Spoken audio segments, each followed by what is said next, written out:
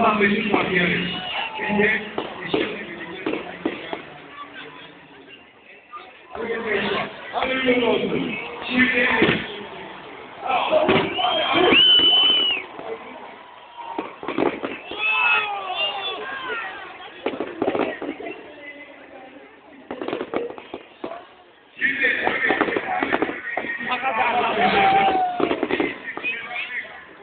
Dört dakika oldu